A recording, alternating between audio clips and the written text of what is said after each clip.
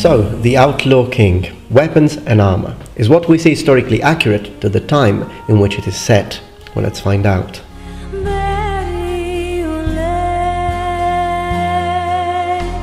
Hello number ones, welcome back to my channel, this is the Metatron speaking. Now a little disclaimer for those of you who are not yet members of this community. Uh, this video is not an attack on the actual movie. We do realize that what we're talking about, what we're dealing with is entertainment. This is first and foremost constructive criticism because we do understand the amazing potential of setting a movie or a TV series in the Middle Ages and when it's done properly I think uh, it can look a lot better. But secondly, uh, this sort of video reviews uh, is of an educational nature and we want to understand and learn more about medieval warfare equipment. Okay, first and foremost, I'd like to say that compared to other TV series, such as, for example, Knightfall on Netflix, uh, The Outlaw King does a much better job at depicting the uh, Middle Ages. However, there are some problems in terms of the clothing, but most importantly, the armor has some overall geometric uh, inconsistencies. There are some shape problems which have to do with the actual functionality of armor and the way armor works that any armorer worth his salt would know. Now on this video we're mostly going to focus on the things that this film does wrong, but this film also does some things right. Like for example, if we look at the Great Helm, this is one of the most iconic helmets of, for the Middle Ages. When you think of a knight, most people will imagine him wearing this sort of helmet. Now the majority of video games and films make one fundamental mistake when representing the Great Helm. The uh, shape and size of the ocularia, the actual openings for the eyes of the wearer, for the wearer to be able to see. In originals, what we see constantly, it's ubiquitous, it's always very thin. The ocularia are always very thin, and not just with a great helm, but also with other visored later uh, sort of helmets, such as, for example, the hounskull or pig-faced bascinet. Again, in real historical examples, we see the ocularia being very thin and sometimes even protruding forward in order to encourage any blade that tries to uh, get through or enter through the slits to be glanced off. Now, in many video games, movies, and LARP low quality LARP replicas of medieval helmets, what we see is that we often see these ocularia being too big. And sometimes this happens as well, as I have pointed out on the dedicated video, on video games that are based on historical accuracy, such as Kingdom Come Deliverance, where again, although the overall shape of the armor looks a lot better, and a lot closer to actual real armor, they make this fundamental low LARP quality uh, mistake. Ocularia are too big, and you can understand how dangerous that could be for a real medieval knight. If a real medieval knight were to see a helmet like that, he would refuse to wear it. So the great helms instead in this film look for the most part good. Sometimes they look silly, but other times they look actually very good. The slits are very thin, and what we see is that we see mostly a mix of mm, flat top great helms and sugarloaf great helms with more of a rounded surface. Now this is accurate to the period because in the early 14th century is when flat top helmets were starting to be uh, replaced by the more functional uh, sugarloaf, which encouraged uh, weapons to glance off or to slide down. Now, on this film, what we see, the main component that we see people wearing is mail. Now, that is, of course, a great thumbs up, as my friend Shad at uh, Shadiversity channel uh, pointed out. Absolutely, that's the sort of armor you should see because the film, please keep in mind, is set, it begins in 1303. So we are at the beginning of the 14th century, a very important century for the development of armor because it's the transitional period between mail armor and plate armor, the beginning of breastplates, the beginning of the actual man clad from toe to head in plate towards, of course, the end of the 14th century and the beginning of the 15th. Okay, so the first problem that we see is that mail is not fitted, it's not tailored for the wearer. What I mean by that is that when we look at actual iconography, we see that mail is very, very well fitted to the wearer, and we're talking about actual tailoring and tapering um, mail arms all the way up to the wrist, and in this century, you should even extend over, but we'll get back to that over the hand. So we see the mail is very, very well fitted, but this is not what happens here. What we see here is a typical um, low-level LARP uh, quality stuff, um, mostly mass-produced, which is baggy uh, sleeves. And so you see that there is a lot of mail going down here as they move around, and that is actually wrong. The reason why unfitted, untailored and baggy mail is wrong is because it takes actually more rings, more time and it weighs more and it's even less comfortable to wear whereas a proper knight and even men-at-arms for that matter in fact even common soldiers if they could afford mail they could afford to have it tailored that's what we see it's absolute adamant, uh, ubiquitous in iconography, depictions, effigies, everything mail is very well fitted. And again, at this time, seeing three quarters length mail looks very old because that's uh, the sort of Battle of Hastings 1066 kind of technology. By the early 14th century, the mail should be shorter. And then again, in this shot here, we can see that it's not short, it's actually longer, super long with a rider split. This, um, they should be wearing surcoats on top, and sometimes they do, but sometimes they don't. So again, when you look at this kind of guy, he looks like a late uh, 11th century knight, so it's too now, what about the mail coifs? And this is the only part probably where I sort of disagree with my good friend Shad. He still made a very good video review, so check it out, link in the description below, and he does mention a lot of very interesting points on the from the point of view of castles and buildings, and so I do refer you to his video. But this part, he's very happy and excited for the fact that uh, mail coifs um, look good because there, are, there is proper padding underneath. But this is absolutely not proper padding, not at all. This is in fact it looks rather silly because it's too much overly padded. And when I'm saying too overly padded, I mean look at this guy's head and compare it to these people's heads. Now you can see that yes, the overall shape of the head of a medieval soldier in mail in iconography does look slightly bigger than the actual profile of the head, but that is because underneath they could have a sort of thin form of, uh, of padding, but most importantly, most of these soldiers are actually wearing a secret helm underneath uh, the mail coif. That happens a lot in the art. In, for example, the Morgan Bible has loads of folios that show this, because again, this sort of um, skull cap, uh, can, iron or steel skull cap, you know, very very low profile, is normally worn either over the mail coif or underneath the mail coif. In any case, you can see that even with an actual metal helmet worn underneath, the overall shape of the head is still very, very low profile. Whereas here, it looks like some sort of, I don't know what it looks like to be honest, but it's definitely, definitely, this is not nitpicking. That is not how you wear a mail coif. A second aspect of the mail coif, which is very important, is what is a mail coif designed to do? It's designed to do two things offer protection for your head, but also at the same time offer protection for your throat. No doubts about it. Now, you don't need to be an eagle-eyed, eagle-eyed uh, observer to notice that in this case, just like in, in lots of those uh, video games and lots of representations and lots of LARP events, what we see with coifs is that they are very open and leave the throat exposed. This never, ever ever happens in medieval iconography in originals instead what we see is that the mail of a mail coif reaches at least the chin and it covers uh, not only it reaches the chin but then it's not like a floating here but it actually is retracted and it's very very well custom made.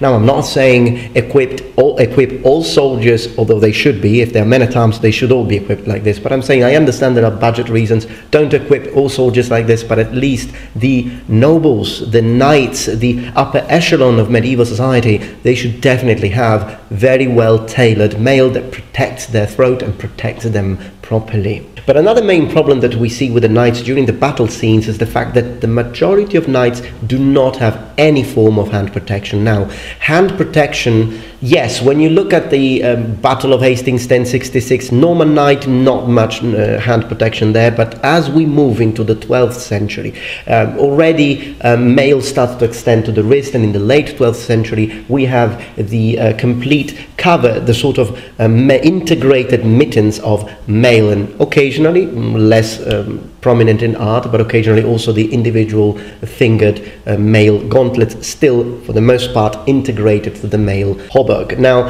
in the early 14th century, absolutely, they should definitely have uh, the entirety of, of their arm protected, including the hands. Going into battle without protecting your hands is suicidal because the hands are a primary target uh, during combat, medieval combat. If an opponent manages to open a wound into your dominant hand, then you won't be able to operate your weapon anymore, and therefore you can understand that that means being out of battle. So why bothering wearing all the rest of armor? Yes, you won't die possibly it depends but you, you shouldn't die for a, for a wound to your hand unless it gets affected but still you don't want that to happen because then you won't be an effective fighter anymore talking again about mail in this film the english they almost all have mail protection for the legs and that is correct why don't the scots have mail protection for the legs. They should, as we see in time or in period uh, effigies.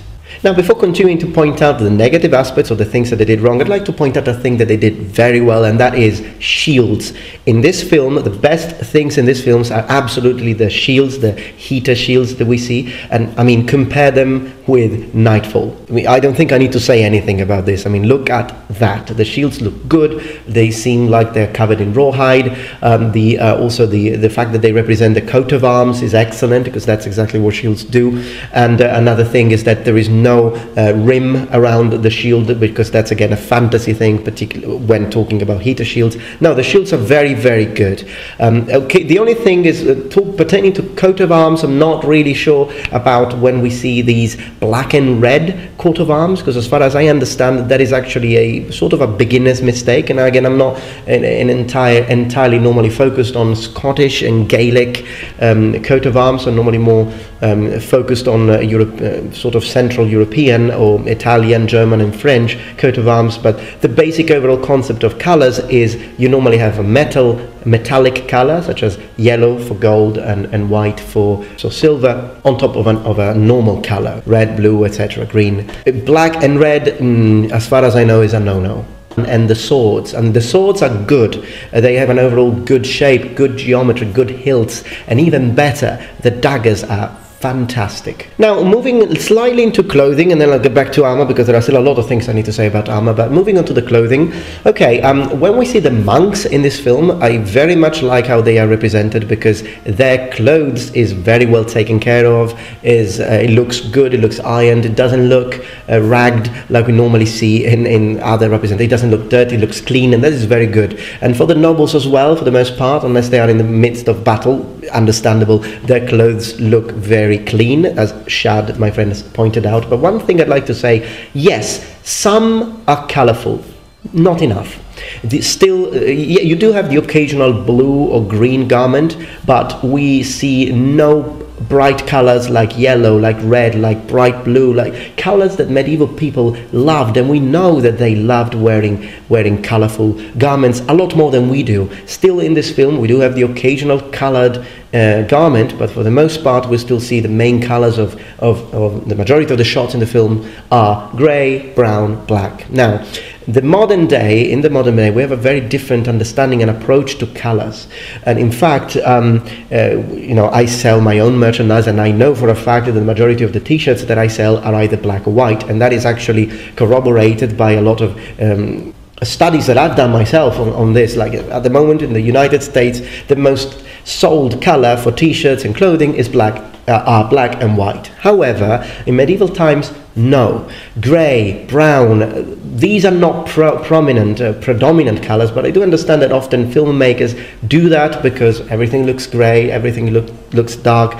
And yes, we are in Great Britain, so I understand it's rainy and muddy, but we should also see them enjoying the occasional uh, beautiful weather, singing together, dancing together, like medieval people, people did. And they took proud, proud in their garments. They also took care of them. In fact, modern day people, we are spoiled. Okay, if we have this little statue here of the goddess Athena, if it gets a little cracked, I just throw it away and replace it. But this is not how things were uh, done by medieval people, even the rich, because when you had something produced for you, it was most of the time good quality, and, and because you didn't have the sort of cheap modern mentality of mass producing everything and then you know we we just throw away everything. They didn't throw away; they repaired, they fixed. So uh, again, it, as I say, it's doing a better job than other sort of, I mean, some of the swordsmen that we see, they look very good, they look like medieval swordsmen, but there is still a lot to do. When we look at the English knights, uh, there are, that, that's when things start to become really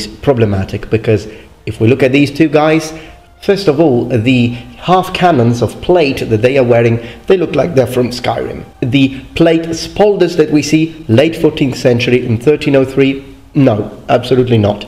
Too futuristic. Also, if you, if you allow me a little nitpick, it, it should be further up. Okay, it's a little too low, the way it's worn. But most importantly, the most wrong thing that we see in this image, in this picture, is the condition of the mail shirt of this knight. Now, if this is immediately after after a battle, immediately after a clash of knights and combat, then sure, absolutely. But it has to be immediately after, because a knight would have spent a huge amount of money on the production of his mail, and the moment mail got destroyed or these sort of holes it was broken like that it would be repaired immediately okay? So a knight who goes around with broken mail like this for example that's definitely not a rider slit. So it's not it's just it's broken and it makes no sense particularly if you belong to the knightly class if you are a nobleman absolutely not now, the horse protection um, or the barding, I'm not going to spend too much um, time on this because I'm preparing a dedicated video to that, but just suffice to say that yes, it existed, of course, and horses were protected. However, uh, what we see in this film looks 16th century ish to me. So, um, again, I'm going to say no. Now, as Shad said, the fact that the pauldrons or the spaulders, sorry, the spaulders worn by the Prince of Wales, uh, the fact that they look gold, possible we don't know. So um, it, the, the, the, real problem there is not the fact that they have rivets isn't because they could be washers. It's not the fact that it's gold. It's the fact that I don't think they should be there considering the time period. Mail that's what he should be wearing. Also another thing that I'd like to say um, is going to pay his taxes uh, to the King of England and he put the money or the contents of this inside a box medieval boxes. Have you ever seen medieval boxes? They are amazing works of art. This is does not look like a medieval box if you have seen medieval boxes. They should be painted, richly colored, very well. Boxes were very artistic in nature in, in medieval times. Also, this room, and this is actually something I'd like to add to what um, Shad said, it should be white it should be painted white, possibly even even castles, depending on the castle. But it should be painted white uh, from the inside and even decorated, very richly decorated. And that is something that was done beautifully well. Exquisite representations of the inside of some uh, medieval buildings in the video game Kingdom Come Deliverance. They've done an excellent job with the buildings in that video game.